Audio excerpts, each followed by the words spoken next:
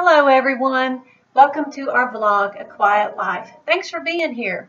You're probably looking for an update on brachioradial pruritus. Brachioradial pruritus is an intense itching and burning.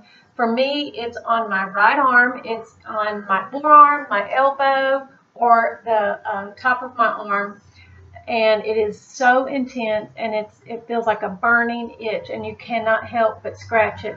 And it doesn't do any good to scratch it. Nothing helps it. Nothing topical helps it. You can't take a medicine to help it because what it is for me it's a nerve in my my spine into my neck and it goes down into my right arm. And the sunlight triggers this nerve. So from May till November I can have this intense burning and itching on my arm. When I was in high school, I did have a, sun poisoning on my forearm, on my right arm, which is where it's at. And I also clean houses, so I use my arm a lot. I garden a lot. I work outside a lot. I do a lot of home projects a lot. So I'm constantly using, especially my very dominant right arm. And uh, I do have a lot of problems with my hand, my elbow, my shoulder. You know, my right side actually, I have a lot of problem with my right hip. Uh, the side of my foot goes numb. My fingers can go numb on the side of my hand. It's sciatic nerve and, you know, different things like that. I also run, so um, a lot of different things can cause the problem on my right side. But the main thing that I have is the brachioradial pruritus. And I've even been to uh, like a spine doctor and they wanted to put my neck in traction, which was really painful. So that didn't last long. Um, you put up this contraction and stick your neck in, it was terrible. And then I went to a chiropractor and they've done some alignment and that may have helped some. Um, also, um, just just trying to keep my posture straight does help also. But what I have found that helps more than anything is just really three simple things. One is ice. Whenever my arm gets really bad, or even when it doesn't get bad, when it just starts burning and itching, I ice it. I ice my arm up, and get it really good in ice because you don't want it to get really burning and itching because it's so intense by that time. It's so hard to get it to stop. So I ice it really good for about 10 minutes or more. You can take a water bottle and freeze it and keep it in your freezer. That's that's a really good thing. I keep one of those also. Or you can just keep some sort of thing with ice and just ice your arm up really, really, really, really, really good and about 10 minutes or so. After you ice it up, you can get, it's lidocaine 4%. You can get this anywhere. You can get it at Walmart, the dollar store.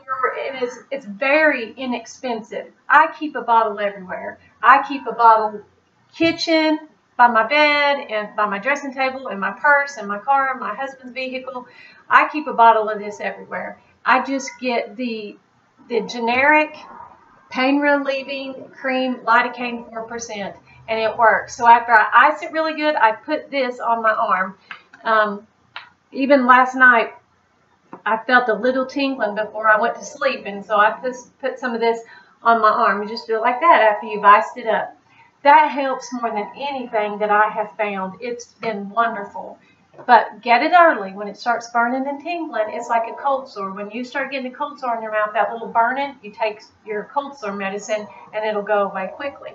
But something that has really helped, and I just realized I've been taking this for two years now, two years in September. I found out about this amino acid in the book called The Mood Cure. And I think it's by Julia Ross. But this is called L-phenylalanine, and it helps with the nerves. It also helps with the nerve in my leg, my right leg. But this has helped me more than anything um, that you can get medicine-wise over the counter by anything like that. So I take one of these a day. It's very inexpensive. One bottle is about $11, $12, and this bottle will last four months. So I take one a day. I take it, take this of a morning. L-phenylalanine. I get it off Amazon See if you can see that. Take one a day, it's 500 milligram. And you need to take it consistently. This is not something that you can just take for a while and then uh, quit taking it. This needs to be consistently. So I've taken it for two years now and it really has helped because this year I've only really experienced pain, uh, the intense itching from May to July. I think it is because of this. For, so from May to July, I have not, I had the intense itching, but it wasn't super, super bad. And now, since July, I've only had it sporadically on my arm, um, you know, two, three times a week, but it's really light. So I just put some stuff, I put some stuff on it and go. Because if you've had brachioradial pruritus, you know it can get very intense quickly. And I've not really suffered with that this year, and I do think it is the L-phenylalanine. uh, probably not pronouncing that correctly. 500 milligrams, and it's a nervous system support, and it really, it really is that. And then don't forget your ice and your 4% lidocaine. And I hope that this has helped you.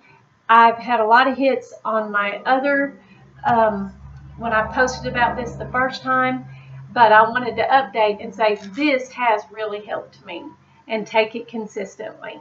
So hope that you have uh, itch burning free arms. have a blessed day.